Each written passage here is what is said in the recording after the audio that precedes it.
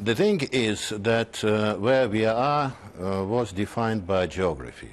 Where we would like to be is in the political structure of EU. That's what we tried to achieve, strive to achieve for quite a number of years, including the last four years under President Yanukovych.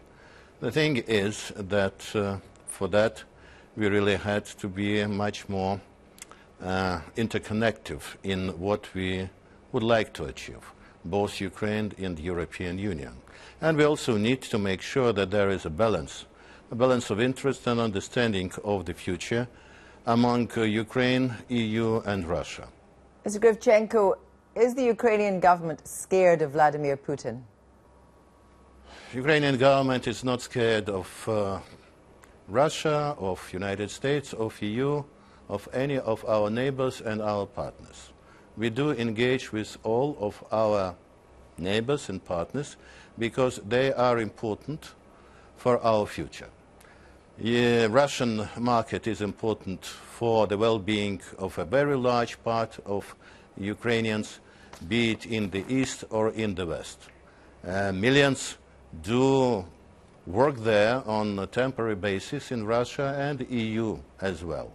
We need to find a solution where everyone would be comfortable with what we have proclaimed as our goal, going into association with Europe, but on the basis of uh, a very well-defined national interest, which should not contradict long-term view of Europe, and at the same time would not scare Russia, which believes, for the time being, that this would create a loophole in the custom protection that they believe is so important for their customs union. So that is something where we see solution in trilateral negotiations between Ukraine, Russia and European Union.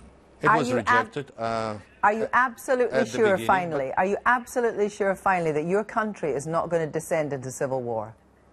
We need to have uh, a peaceful solution, which only can be achieved through dialogue. But this dialogue needs to lead to functionable, efficient government, be it through a coalition government, be it through change to constitution. Everything is now open for discussion.